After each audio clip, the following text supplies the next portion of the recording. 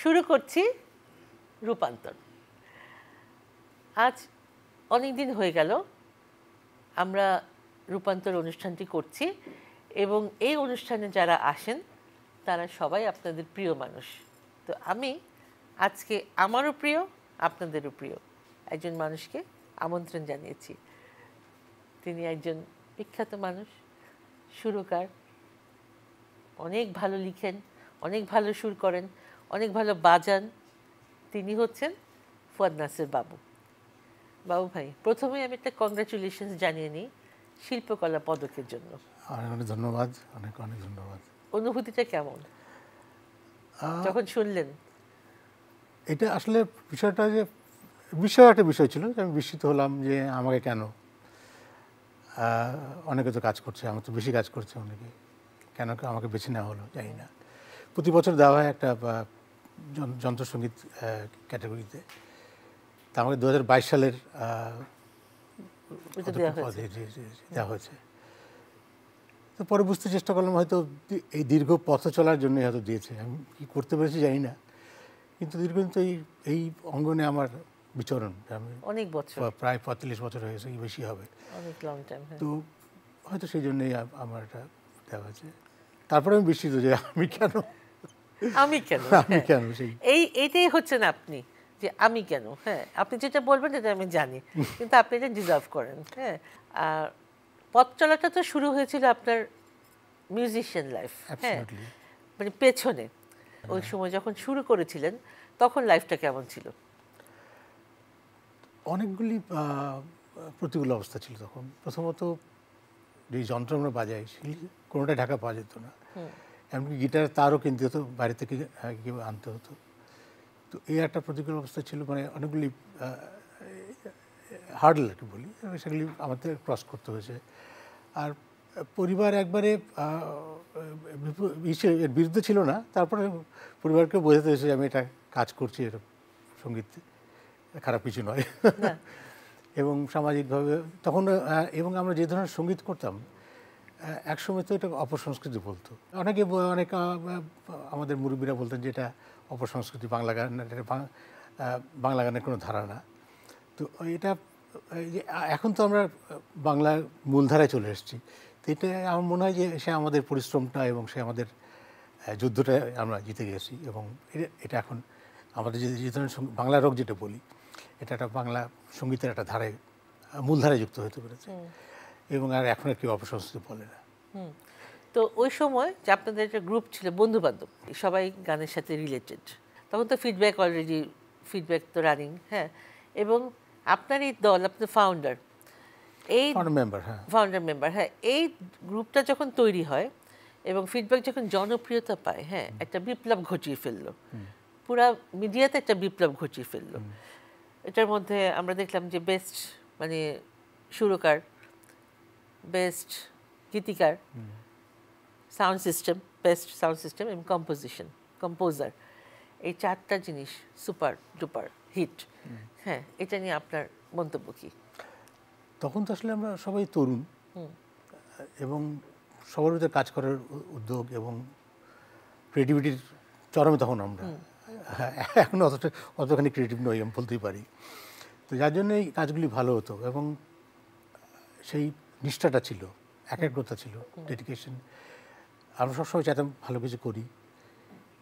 তখন মাকসুদ সাহেব অসাধারণ গান লিখছেন কথা শুরু করছেন আমি শুরু করছি। লাভরম বাজাচ্ছেন সেলিমাদার বাজাচ্ছেন তখন প্রথম দিকে রোমেল খান ছিল। সবাই তো সবাই হ্যাঁ। হ্যাঁ। এবং বন্ধু হিসেবে ইশতিয়াক ছিল মিন্টু ছিল সবাই আমরা একটা গ্রুপ কাজ করে একসঙ্গে কাজ করতাম। কিন্তু ফিডব্যাক বাইরেও। তো সবাই কাজ করছি, সকালে স্টুডিওতে ঢুকি। কিছু কেউ না কেউ কোনো গান করছে, কে কী গান করছে সেটা দেখি। এটাকে কী আরও ভালো কিছু করা যায়, এই সীমাবদ্ধতার মাঝখানে। তখন তো টেকনিক্যালি টেকনিক্যালি আমরা অনেক পিছিয়ে ছিলাম। একটা ভালো রেকর্ডিং করতে যে ইকুইপমেন্ট দরকার ছিল না। সে মোনো ট্র্যাকে রেকর্ড করা, ছোট, হয়তো ছয় চ্যানেলের মিক্সারে রেকর্ড করা, এগুলি এগুলি আসলে আমার কাছে মনে হয় যে এখন যে অবস্থাটা, আমার কাছে মনে হয় আমার কাছে প্রাপ্তি মনে হয় যে আমরা ওই সময় সেই যুদ্ধটা করেছিলাম বলে আজকে এই- সঙ্গীতটা এখানে আসতে পেরেছে। ওই সময় যে আমরা একদম পাগল ছিলাম গানের জন্য মানে যে গানটাই হতো হ্যাঁ। ওই ক্যাসেটটাই কিনে নিয়ে আসতাম। হ্যাঁ যেটা ফিডব্যাক বলেন সোলস বলেন বা সোলো গান যারা করতেন হ্যাঁ। মানে নতুন গান বের হলো গানের মধ্যে একটা আবেগ গানের মধ্যে একটা মানে অন্যরকম একটা ভাব একটা ভাইভ ছিল হ্যাঁ। এখন হয় কম হয়। এখনকার ভাইভটা আবার অন্যরকম। হুম, তাই না। ডিফারেন্ট না একটু এখন যে কাজগুলো মানে আপনি করেন নতুন করে ওই ভাইভটা কিন্তু আমরা পাই। অবশ্যই আমি তো আমাকে বদলাতে পারব না আমি তো যা হ্যাঁ ওটা কিন্তু পাই এখানে কিন্তু আর কোনো অন্য কিছু পাই না। আপনার কথায় আসছি আপনার ক্যা- ক্যাসেট বলে একটা কথা বললেন। এই ক্যাসেট একটা আমাদের ইন্ডাস্ট্রির জন্য মানে ক্যাসেট বা সিডি এই যে ফিজিক্যাল একটা জিনিস এটা এটা আমাদের এই- এই সংগীত ইন্ডাস্ট্রির জন্য খুব বেশি দরকার ছিল। এখন কারও গান ভালো লাগলে আমি দোকানে গিয়ে খুঁজি তার গান ক্যাসেট বা সিডি। বাসায় নিয়ে আসি এবং একটা ওনারশিপ থাকে যে আমি আমাদের একটা ক্যাসেট কিনলাম। এই জিনিসটা নাই যার জন্য গান বাজনার হ্যাঁ। এই সমস্যাটা হচ্ছে। অনলাইনে প্রচুর গান হচ্ছে। আমার মনে হয় না তিরিশ সেকেন্ডের বেশি কেউ শোনে। তো এই তিরিশ সেকেন্ড শুনে সুইচ করে আজে চলে যায়। তো ওই জিনিসটা মানে মানুষের সেই মমতাও দর- দরকার। শ্রোতার একজন শ্রোতা একজন তার প্রিয় শিল্পী গান শুনবে পুরো গানটা শুনবে একাধিকবার শুনবে। আগে তাই করতাম। ক্যাসেট বারবার রিওয়ার্ড করে একটা ভালো গানটা শুনতাম। তো এই জিনিসটা মানুষ আর মানুষের লাইফস্টাইলও বদলে গেছে। অত সময় নেই মানুষের আসলে।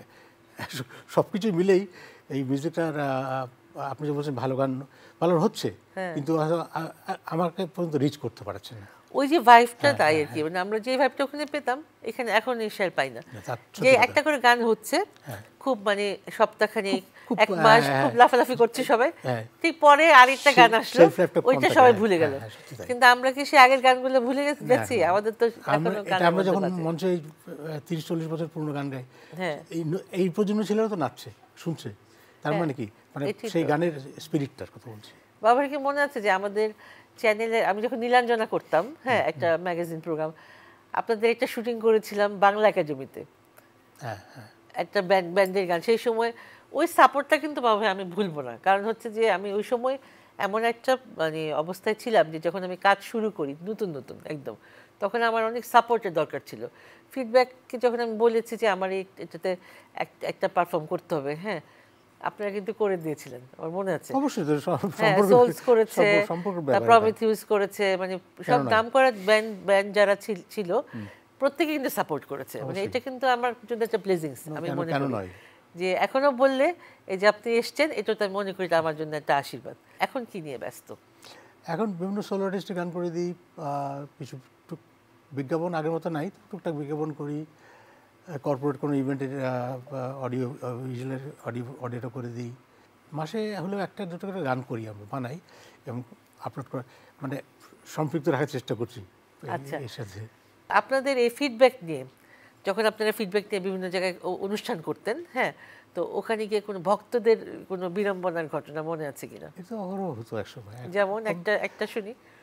না এটা অসংখ্য ঘটনা। যেরকম গানের শেষের দিকে মেলা যখন হয় তখন তো আর কোনো শৃঙ্খলা থাকে না। হ্যাঁ। তো দর্শকরা মঞ্চে চলে আসে।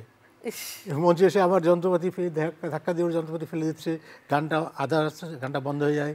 তো এগুলি তো প্রায় মুখোমুখি হতে হয় এটা বিষয় না। মজাই লাগে। মজা লাগে এটা এটা এক ধরনের আনন্দ তাই না? যে আশীর্বাদ। হ্যাঁ, গানটা তারা ভালোবেসেই করছে এটা তো এসে ওরা না থাকলে তো না, আপনারা হতে পারতেন সেটাই হ্যাঁ। এটাই এটাই হচ্ছে কথা। ফিল্মে তো কাজ করেছেন। কাজ করেছি সর্বশেষে গত বছরও করেছি এবছর হয়নি এখনও। আপনার কোথায় কাজ করতে বেশি ভালো লাগে? মানে কোন সেক্টরে সব ক্ষেত্রেই কাজ করেছি। আমি সঙ্গীতের কোনো ক্ষেত্রে নাই যে আমি বাদ রাখি নেই। বিজ্ঞাপন আপনার গান চলচ্চিত্র রেডিও টিভিতে শুরু করেছি। রেডিও টিভিতে গান করা বাজানো। স্টুডিও ছিল আমাদের জন্য একটা শ্রেণীকক্ষ। হ্যাঁ। মানে গুণী সুরকার সত্যদা সমরদা আলাদিন ভাই আলম খান নাম বলে শেষ করা যাবে না। ওনারা কাজ করতেন। হ্যাঁ। আমরা কাজ শিখতাম। সঙ্গে বেড়াতাম তো ওটি ছিল আমাদের স্কুল। হ্যাঁ। আমাদের তো কোনো একাডেমিকলি কেউ গান স্কোপও ছিল না বাংলাদেশে মানে কোনো মিউজিক স্কুল ছিল না তখন। তো ওইখান থেকে আমি শিখেছি হাতে কলমে শেখা। সেই এক্সপিরিয়েন্সটা আমাদের কাজে লেগেছে। কাজে লেগেছে।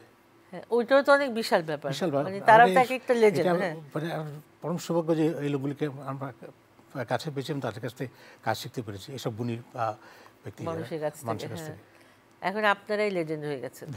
এবং যতদিন যে ফিডব্যাক ব্যান্ড হ্যাঁ এই ব্যান্ডের নাম তো হ্যাঁ রয়ে হ্যাঁ, গেছে, আমি এটা বিশ্বাস করি কিছু কিছু ভালো গান হয়েছে যা বহুদিন থাকবে। তো এখন ফিউচারে কি প্ল্যান করেছেন? কি কি প্ল্যানিং আছে?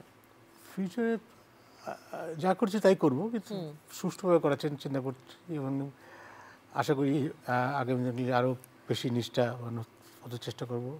অতীতে ছিলাম। হ্যাঁ। আগামী দিনগুলি আরও বেশি চেষ্টা করব ভালো কিছু করার। এতে আমাদের কাজ কি? আর সমাজে কন্ট্রিবিউট করা এটা ভালো কাজ করে। গান এবং সেদিন আলাপ হচ্ছিল একজনের সাথে। শিল্পকলার মাধ্যমে যদি আমরা কিছু ছেলেদেরকে প্রশিক্ষণ দিতে পারি ইনস্ট্রুমেন্টের জন্যে। শুধু ওয়েস্টার্ন ইনস্ট্রুমেন্ট না দেশি ইনস্ট্রুমেন্ট যেগুলি অনেক হারিয়ে যাচ্ছে। আমরা রেকর্ডিংয়ে পাই না। সেরকম দেশি যেগুলি ইনস্ট্রুমেন্ট আমাদের ট্র্যাডিশনাল সেগুলি ছেলেরা শিখতে আগ্রহী হয় ভালো ইনস্ট্রুমেন্টিস আসে আমাদের সমৃদ্ধ করে। তো এগুলি এগুলি আমার স্বপ্ন আসলে এগুলি যদি হয়তো একসময় কর- করতে পারব। ইনশাল্লাহ। হ্যাঁ। আরও অনেক কিছু করেন। না এটা এটা একটা কাজ- বড় বড় কাজের জায়গা মনে করি আমরা আমরা করতে আমাদের করতেই হবে এটা। কারণ নাহলে আমাদের ভবিষ্যতে অনেক অনুষ্ঠান পাবো না। সেটা শরৎ সারেঙ্গি এসরা যেগুলি হয়তো পাবোই না কত কিছু হারিয়ে গেছে হারিয়ে গেছে হারাবে কেন? আমাদের আমাদের বন্ধু ভাবনা। আপনার বন্ধুরা তাদের কথা বলেন। বন্ধু বলতে হলে প্রথমে পিয়ারু খানের কথা বলতে হয়। কারণ আজকে আমার এই প্রফেশনাল যে মিউজিক করি প্রফেশনালি করি এটা শুরু আমার পিয়ারু ভাইয়ের হাত ধরে। আচ্ছা। পিয়ার ভাই আমাকে একদিন ধরে স্টুডিও নিয়ে গেল বলে বাজাও। তারপরে বেশ এই শুরু হলো। কিন্তু বাবা একটা জিনিস আমাকে বলেন হ্যাঁ ব্যান্ডটা তো বেশ শক্ত কিন্তু এই ব্যান্ডটা আস্তে আস্তে ভাঙে কেন? বিভিন্ন ব্যান্ড আমি দেখি আস্তে আস্তে আস্তে আস্তে মানুষ চেন আস্তে আস্তে চলে যায় আবার নতুন মানুষ ঢুকে। কেন একটা ব্যান্ড এক একরকম থাকে না? এটা তো মানসিকতার ব্যাপার এখন হয়তো ব্যান্ড নিয়ে সে অন্যরকম ভাবছে আবার সবাই অন্যরকম ভাবছে তখন সে এত ব্যান্ড ত্যাগ করে চলে যায়। এইটি আর কিছু যে আমাদের এর আগে যা- যারা ছিল এক সময় যারা চলে গিয়েছে ব্যান্ড। ছেড়ে তার সাথে আমার সম্পর্ক এখনও আছে। এবং সাথে সম্পর্ক ভালো। আচ্ছা মানে বন্ধুত্ব আছে বন্ধুত্ব আছে কিন্তু মানে হ্যাঁ, প্রফেশনাল কাজ কিন্তু প্রফেশনাল সে হয়তো গানটাকে অন্যভাবে দেখে। আমি মাকসুদের কথাই বলি। হ্যাঁ। মাকসুদ যেরকম তার চিন্তা ছিল তখন খুব বেশি ফোক নিয়ে জড়িয়ে গেছিল।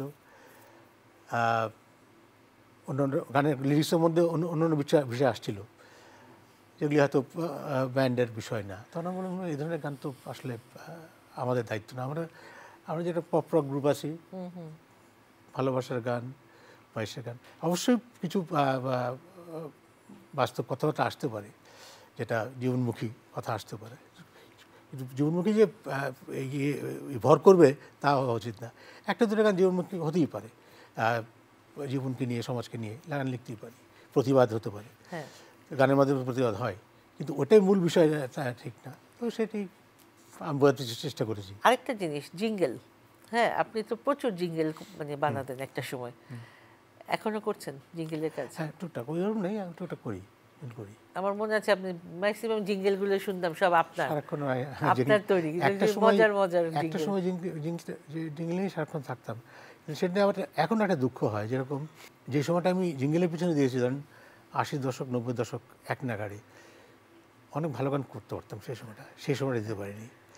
কিন্তু সেই সময়টা এই ওই ওদিকে চলে গেছে হ্যাঁ। হ্যাঁ কিছু ভালো গান করে রাখতে পারতাম যেটা একটা দুটো কাজ করেছি মানুষ এখনও অ্যাপ্রিসিয়েট করে। তো আমার মনে হয় যে আরও এই এই বাস্কেটটা আরও বড় করতে পারতাম আর কি আরও ভরতে পারতাম। তো যে দুঃখ যাক যেটা হয়নি হ্যাঁ, হয়নি ওটা ফেলে এসছি। এখনও চেষ্টা করছি ভালো গান করার হ্যাঁ এখন এখনও তো অনেক সময় আছে। তা আপনার বন্ধু সবসময় বলতো যে বাবু হচ্ছে একটা নিখাত ভদ্রলোক আমাদের বন্ধুদের মধ্যে। আসলে আমি তাই দেখি আমার বন্ধু ভদ্রলোক ছিল।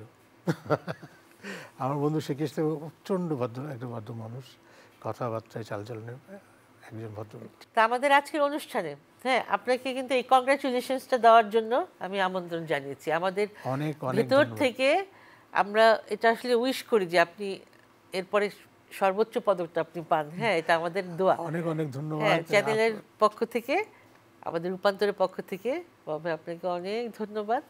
আমাদেরকে সময় দিয়েছেন। আর আমি জানি আপনি কিন্তু সারা মিউজিকে যখন ঢুকে যান তখন কিন্তু পৃথিবীর কোনো খবর থাকে না। এই আমি দেখেছি। হ্যাঁ একদম ডুবেই যান মিউজিকের মধ্যে। হ্যাঁ ওখান থেকে সময় বের করে আসাটা ডিফিকাল্ট হ্যাঁ তারপরেও আমি যতবার দেখেছি কখনো না, না করেননি। হ্যাঁ এটা আমার জন্য ব্লেজিংস আমি মনে করি। অনেক ভালো থাকবেন। আমি একটু ধন্যবাদ দিই আপনাদেরকে রূপান্তরকে চ্যানেল আইকে এবং শিল্পকলা একাডেমি। যারা আমার কৃতজ্ঞতা প্রকাশ করছি যারা আমাকে বিবেচনা এনে নির্বাচিত করেছে। আমার এবং সহকর্মী যারা এটা সুযোগ করে দিয়েছে আমার কাজের মাধ্যমে। সবাইকে ধন্যবাদ কৃতজ্ঞতা। আমাদের আজকের যিনি অতিথি, তিনি আমার খুব প্রিয় মানুষ। আমার ফ্যামিলি মেম্বারই আমি বলব, কারণ আমরা একসময় একটা ফ্যামিলিতেই বিলং করতাম হ্যাঁ? তো সময় চলে যায় টাইম ফ্লাইজ আমাদের এই মানুষটি শিল্পকলা অ্যাওয়ার্ড পেয়েছেন, পদক পেয়েছেন। এটা আমাদের জন্য অনেক গর্বের বিষয়। ওনার জন্য দোয়া করবেন যে সর্বোচ্চ পদকটা উনি পেতে পারেন। ভালো থাকবেন। আমি চলে আসব এই দিনে, এই মুহূর্তে আপনাদের পছন্দের কাউকে নিয়ে। ততদিন পর্যন্ত খুদাহাফিজ